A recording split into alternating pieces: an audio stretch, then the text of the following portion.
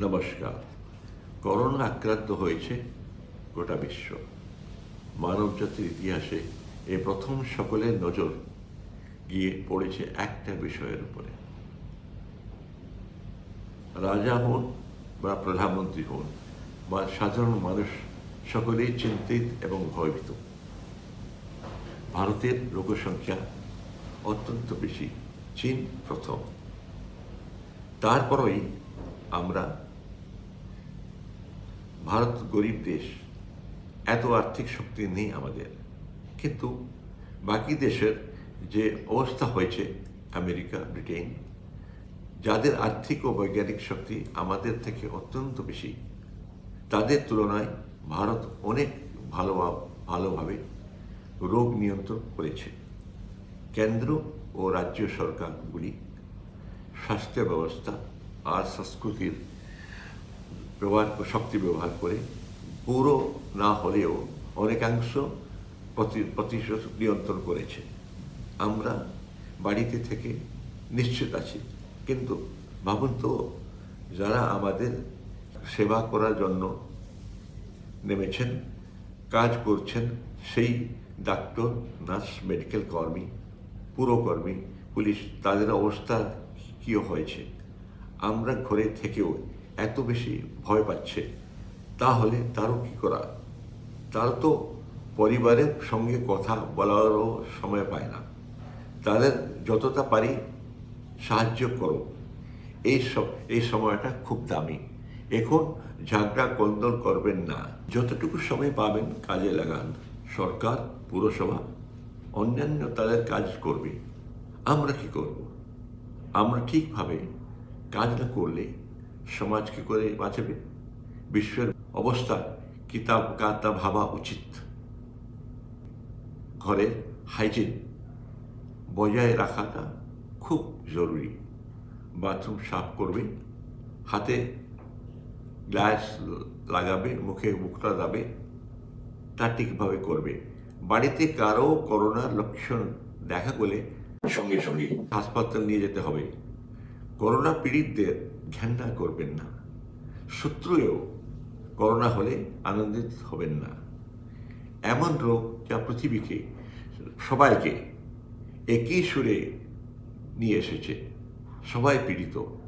করোনার শক্তিটা আমরা পুরো জানি না। না জানি তার ঠিকানা আছে। সেই ভ্যাকসিন এখনও বেরোয়নি। তাই সতর্ক থাকুন, ভিড়ে যাবেন না, মন্দিরে যাওয়ার দরকার নেই, ঘরে বসে ভগবানের পুজো করলেই চলবে। এখন অফিস নেই স্কুলও নেই, কলেজ নেই, জীবন বিপর্যস্ত। বিরক্তি লাগবে ডিপ্রেশন হতে পারে।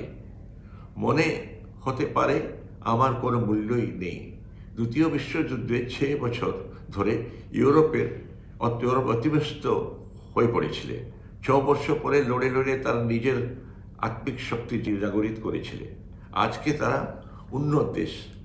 বাড়িতে থেকে এ সময়টা পেয়েছেন, তার সঠিক কাজে লাগান কত জিনিস করার আছে। বাচ্চাদের সঙ্গে কথা বলুন, খাবার বানান, গান করুন, এত রকম খেলা আছে। বন্ধুদের সঙ্গে ইন্টারনেটের মাধ্যমে কথা বলুন। যোগ করতে পারেন। ধ্যান করতে পারেন, সামাজিক দূরত্ব মানে শারীরিক দূরত্ব, মানসিক দূরত্ব নেই, ভালোবাসার দূরত্ব তো নেই। কথাবার্তা না বলে মানুষ বাঁচতে পারবেন না। এই সময় বরং বেশি কথা বলতে হবে। নিজের পরিবারের সঙ্গে, বন্ধুদের সঙ্গে, কিন্তু সবটাই দূর থেকে। এখন যখন অনলাইন সব কিছুই হবে অনলাইন পড়াশুনো অনলাইন কাজ, একটা বাচ্চাদের বিদেশ পড়তে যাওয়ার জন্য তৈরি করে দেবে। একটা পজিটিভ পয়েন্ট ভাববে। আমি ভগবানের উপর বিশ্বাস করি বা না করি, আমাদের ভিতরে আত্মিক শক্তি আছে। সে শক্তিকে জাগরিত করতে হবে। তা কেন আমরা করতে পারব না? রবীন্দ্রনাথ ঠাকুর বলে গিয়েছেন, যদি তোর ডাক শুনে কেউ না আসে, তবে একলা চলো রে। একলা তো চলবে আবার। অন্যদের নিয়েও চলবে। সকলে মিলে এগোরে হতে। আজ নয়তো কাল ভ্যাকসিন আসবে। ততদিন ধৈর্য ধরে চলতে হবে। সকলের সঙ্গে কথা বলে সদ্ভাবনা নিয়ে আমরা এই সময়টা কাটিয়ে দেওয়া উচিত। এই সময় আমাদের অন্যের কথা হওয়া উচিত। যারা পীড়িত, দুঃখিত, যারা যারা কেউ নেই ডিফারেন্টলি এবল যারা বাড়ি নেই, যারা একটা ঘরে দশজন থাকে, তাদের সাহায্য করতে হবে। সৃজনাত্মক কাজে সময়টা লাগাতে হবে। লেখাপড়া করুন, কবিতা লিখুন, ধর্ম নিয়ে লোকদের সঙ্গে কথা বলুন। একে অন্যকে সান্ত্বনা দিয়ে হাত ধরে চলতে হবে। ধন্যবাদ।